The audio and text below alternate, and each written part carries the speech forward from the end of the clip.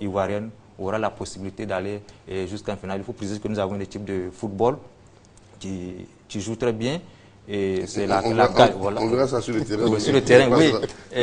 Pourquoi, pourquoi, le choix de la Côte d'Ivoire C'est la qualité au niveau du travail qui est fait au niveau de la Fédération des sports des sous et puis également la qualité des, de ceux qui animent la Fédération des sports des sous. nous étions, j'étais le seul arbitre africain sélectionné pour le football des sous pour les Jeux Olympiques 2009 qui se sont déroulés en Taïwan. Donc à partir de là, on nous a confié la tâche d'entraîner tous les arbitres pour le football des sous sur le continent africain. Donc c'est compte tenu de tous ces aspects que la Confédération n'a pas hésité à choisir la Côte d'Ivoire pour organiser la première édition. Donc nous voudrons sincèrement lancer un appel à toute la Côte d'Ivoire. autant on, on, soutient les entendants, les entendants, il faut aussi soutenir les, les malentendants. La Fédération des sports des sous de Côte d'Ivoire a besoin de sponsors, euh, de partenaires. Donc nous voudrons que tout le monde s'associe, en tout cas à cet événement qui va permettre non seulement aux, sourds de s'épanouir à travers le sport, mais aussi euh, leur intégration euh, au niveau de tout le continent africain. Merci beaucoup, M.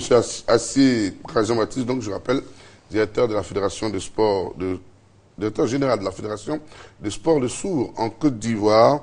Et il nous parlait donc du tirage au sort de la prochaine Cannes qui aura lieu l'année prochaine, en octobre, à Abidjan. Le marathon du Gabon s'est déroulé au cours du, week-end écoulé. Évidemment, ce sont les athlètes de l'Afrique de l'Est, évidemment, qui se sont imposés sans surprise. Ils ont eu du courage hier. 4000 coureurs ont bravé l'orage et la pluie tropicale pour ce premier marathon de Libreville. Trois Kenyans arrivent en tête. Le premier, Peter Keroui, a bouclé les 42 km en 2 heures, 14 minutes et 42 secondes. Le premier Gabonais arrive 15e. Paris réussit donc pour le Gabon qui veut se doter de grands événements sportifs. Le pays rêverait même d'un circuit de Formule 1. Dernier club à propos d'athlétisme, notre Muriel euh, National eh bien, ne laisse pas indifférent, on va dire, les annonceurs. En tout cas, c'est le, le, cas de le dire après ces deux médailles au dernier championnat du monde d'athlétisme, c'était à Moscou. Et Muriel Auré vient de s'unir, pour le meilleur on dira, avec une société euh, de téléphonie mobile en Côte d'Ivoire, on va dire son nom, MTN. Ce mariage a été scellé dans les locaux de MTN jeudi dernier. L'idole de notre athlétisme africain et le DG de MTN Côte d'Ivoire étaient tout heureux de cette union en présence de nombreux euh, témoins. Il y avait parmi ces témoins le président de la Fédération ivoirienne d'athlétisme, Nicolas de Broumou, et le vice-président Serge Do, qui est aussi manager de l'équipe de, de Milieu.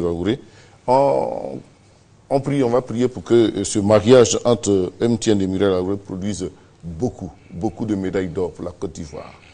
Anne-Marie Nguessan nous a rejoint. Bonsoir Anne-Marie. Bonsoir Benson, bonsoir vous, ça va, vous vous portez mieux après les trois jours intenses de taekwondo En tout cas, ça va nettement mieux. Alors, avant de parler de taekwondo, on va quand même parler des autres arts martiaux, puisque vous en êtes la spécialiste maison, le karaté et l'Assemblée générale. La Fédération ivoirienne de karaté do et discipline associée a tenu son Assemblée générale ordinaire ce dimanche, et c'était à Yamoussoukro présidé par Maître Gay Jean-Claude, président bien sûr de cette fédération. Cette rencontre a vu la participation de 107 clubs. Au programme de, donc, de cette Assemblée générale ordinaire, lecture et adoption des rapports moraux, techniques et financiers. Il ressort de tout cela que 149 clubs et 2738 pratiquants ont été affiliés au cours de l'exercice 2013 des négociations avancées avec l'ambassade du Japon pour l'équipement de la salle de karaté, c'est au stade Félix Soufouette-Boigny, et le rapport du trésorier général qui s'équilibre en recettes et en dépenses de plus de 27 millions de nos francs. Merci Anne-Marie Nguessan. Évidemment, on vous avait annoncé donc euh, la, euh, on va dire la seconde partie de cette émission sera consacrée, vous vous en doutez bien, au taekwondo et au formidable challenge euh, relevé par la Côte d'Ivoire qui a eu le signe honneur d'organiser au nom de l'Afrique pour la première fois donc sur le sol africain le, la Coupe du Monde de Taekwondo. On y va donc pour cette seconde partie.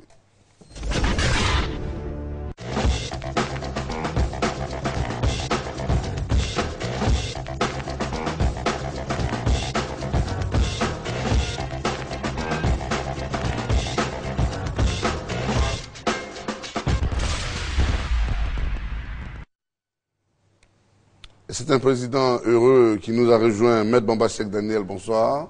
Bonsoir Benson. La semaine dernière, n'était pas aussi serein, très inquiet, très stressé avant l'organisation de cette euh, Coupe du Monde. Aujourd'hui, ça va beaucoup mieux. La Côte d'Ivoire a relevé le défi président. Absolument. Absolument. Tous les défis ont été relevés. D'abord, obtenir euh, l'organisation interafricaine en Côte d'Ivoire cet événement qui a été l'apanage des grandes nations pendant 40 ans. Relever le défi de l'organisation, surtout écouter les satisfaits émanant des personnes comme vous, qui n'êtes pas promptes à, passer la pommade. Et surtout nos autres qui sont partis heureux d'avoir vu le Côte d'Ivoire accueillante avec une organisation qui répondait aux standards olympiques mais surtout, nous ne sommes pas venus pour faire la figuration. Nous sommes venus chercher effectivement à gagner. Et bien que nous n'étions pas classés parmi les grandes élites du taekwondo mondial, nous avions été acceptés parce que pays hôte.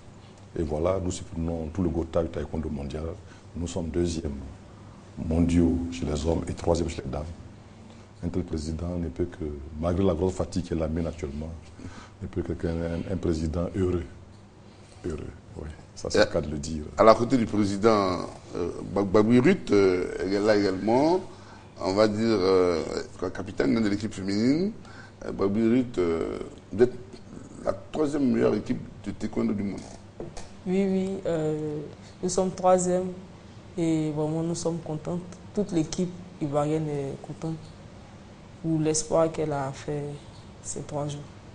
Est-ce que vous attendiez un tel soutien de, du peuple ivoirien Parce qu'on a vu des gens qui ne connaissaient même pas le taekwondo vibrer à chacune de vos sorties.